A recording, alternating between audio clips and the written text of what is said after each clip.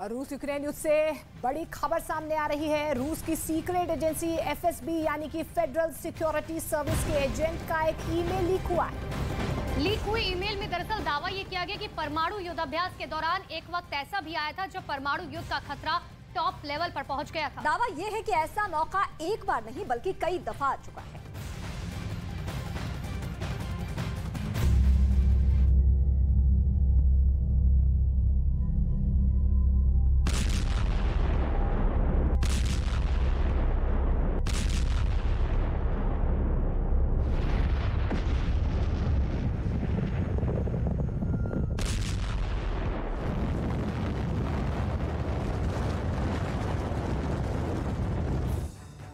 ठीक ऐसे ही धमाकों का ब्लूप्रिंट पुतिन की सीक्रेट न्यूक्लियर फ़ाइल में तैयार है।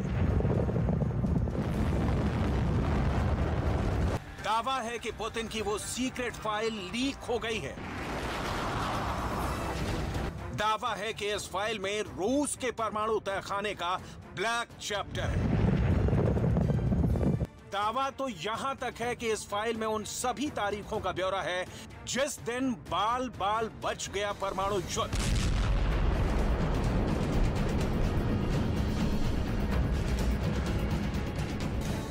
अगर उन तारीखों में से एक तारीख को भी पुतिन ने अपने जगत खोल लिए होते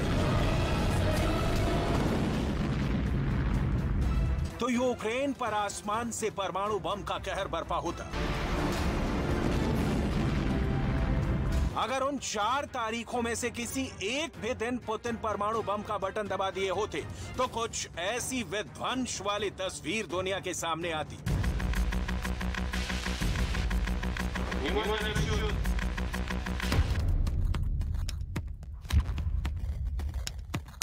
Уважаемые товарищи, Пуск.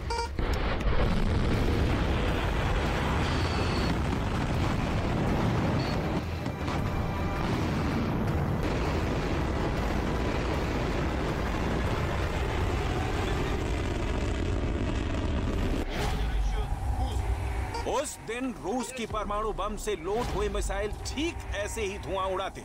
आसमान को अपनी आग से जलाते हुए यूक्रेन की ओर बढ़ चली होती। यूक्रेन के आसमान में सर्वनाश का शोर गूंज उठता और यूक्रेन युद्ध की तस्वीर ठीक वैसी होती जैसे बरसों पहले जापान के हिरोशिमा और नागासाकी में देखा था।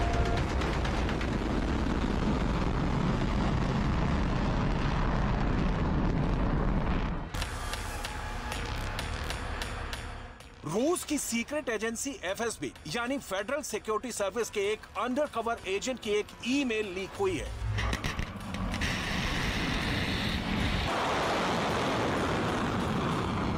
जिसके बारे में दावा किया गया है कि इसमें रूस के एटम बम और पुतिन के परमाणु युद्ध की प्लानिंग का कच्चा चिट्ठा है।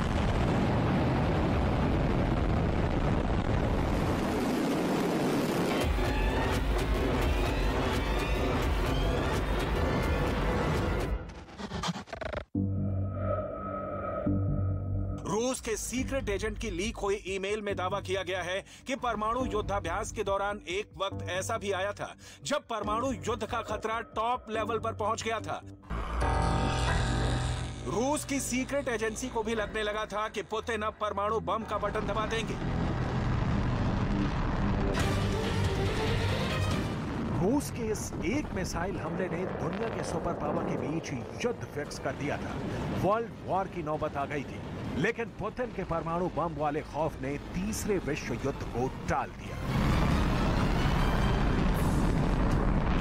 दावा है कि ऐसा मौका एक बार नहीं, कई बार आया। लीक हुई ईमेल में कुछ तारीखों का भी ज़िक्र है। 4 मार्च 2022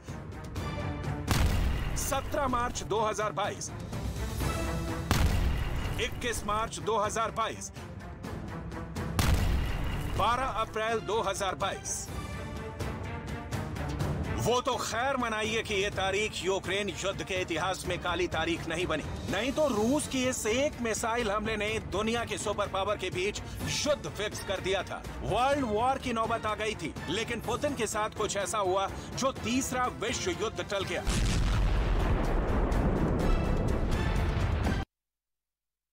तो दावा यह किया जा रहा है कि रूस की सीक्रेट एजेंसी एफएसबी यानी कि फेडरल सिक्योरिटी सर्विस के एजेंट की लीक ईमेल में मॉस्को टू पेरिस परमाणु कॉल की फुल डिटेल्स आखिर क्या है इस ईमेल में? ये इस वक्त हम आपको दिखाएँगे।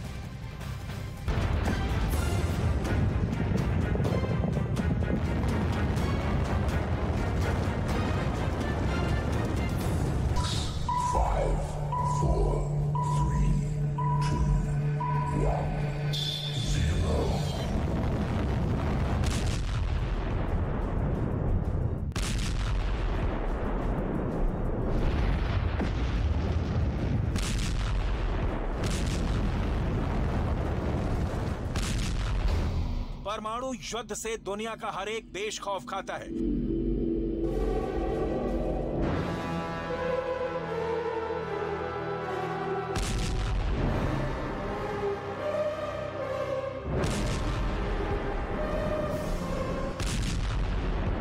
क्योंकि परमाणु बम एक ऐसा हथियार है जिसकी काट अब तक दुनिया का कोई देश नहीं बना पाया।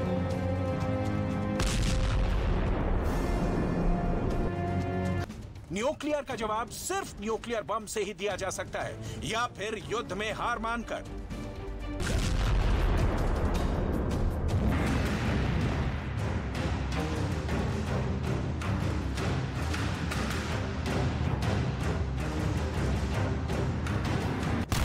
रूस के सीक्रेट एजेंट के लीक हुए ईमेल के मुताबिक पुतिन के हाथ परमाणु बम के बटन तक पहुँच गए थे, लेकिन उसे दबाने से पहले पुतिन बहुत ही डर गए थे।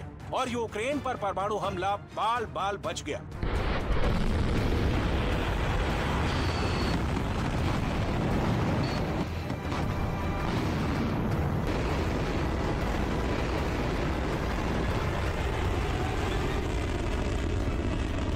रूस का ये सीक्रेट एजेंट कौन है, जिसके ईमेल ने दुनिया में सनसनी मचा रखी है? ये ईमेल किसे भेजा गया था? इसमें रूस के परमाणु बम और पुतिन के किस खौफ का ज़िक्र किया गया है? ये सब तफसील से बताएँगे, लेकिन उससे पहले रूस से जुड़ी वो खबर जान लीजिए, जिसने पुतिन के परमाणु चरित्र से एक बार फिर पर्दा हटा दिया है। अमेरिका के अधिकारियों का कहना है कि रूस ने अमेरिका के साथ परमाणु हथियारों को लेकर होने वाली बहुत ही अहम बातचीत को टाल दिया है। दोनों देशों के अधिकारी मिस्र की राजधानी काहिरा में 29 नवंबर से 6 दिसंबर तक परमाणु निरस्त्रीकरण पर फिर से चर्चा करने वाले थे। इसे मार्च 2020 में कोरोना महामारी के चलते निलंबित कर दिया गया था। लेकिन रूस वार्ता से पीछे हट गया है। The State Department announced today that Russia abruptly canceled uh, the latest rounds of arms negotiations. Um, uh, is, is, is the president planning to reach out to, uh, to to anybody about that? Is there any White House uh, reaction to that? I don't have any, and we were very much looking forward to that because we continue to believe in the importance of, of, of New Start. Uh, we haven't got, uh, haven't received, excuse me, um, uh, a real solid answer from the Russians as to why they postponed this. Uh, we're going to be working through the embassy to, to try to figure out uh, what happened here, and we'd like to see it get back on the schedule as soon as possible because it's important. It's not just important for our two nations; it's important for the rest of the world. America और रूस के बीच नई start संधि 2011 में प्रभावी हुई थी इस संधि के तहत अमेरिका और रूस दोनों को अपने अपने परमाणु हथियारों की तादाद कम करनी थी दुनिया के नौ देशों के पास परमाणु हथियार हैं किसी भी एक देश ने न्यूक्लियर वॉर छेड़ दी तो दुनिया की तस्वीर पूरी तरह से बदल जाएगी। गौर करने वाली बात यह है कि दुनिया भर में परमाणु हथियारों की तादाद तेरह है, जिसमें नब्बे फ़ीसदी परमाणु हथियार रूस और अमेरिका के पास है। रूस के पास पैंसठ परमाणु हथियार है, वहीं अमेरिका के पास छह हज़ार एक सौ पचासी हथियार है। रूस ने अपना पहला परमाणु परीक्षण 29 अगस्त उन्नीस को किया था रूस ने आखिरी बार 24 अक्टूबर 1990 को न्यूक्लियर टेस्ट किया था रूस अब तक कुल 715 परमाणु परीक्षण कर चुका है जिसमें चार अंडरग्राउंड रहे हैं दुनिया में अब तक दो परमाणु परीक्षण हुए हैं इनमें से सबसे अधिक 1030 परमाणु परीक्षण अमेरिका ने किया है Три, два, один. Время старта.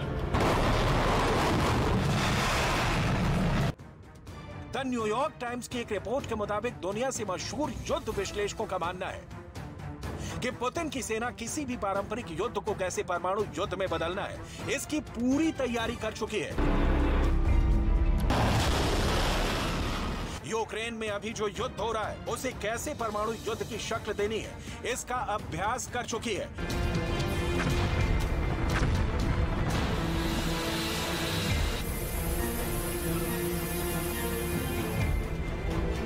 पुतिन की सेना दुनिया को दिखा चुकी है कि धरती से रूस कैसे परमाणु हमला कर सकता है। हवा में रूस के न्यूक्लियर बॉम्बर कैसे परमाणु बम गिराएँगे?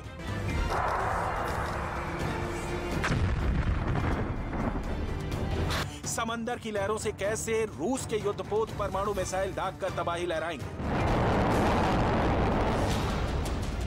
समंदर के अंदर मौजूद परमाणु पनडुब्बी से रूस की सेना कैसे न्यूक्लियर अटैक कर सकती है?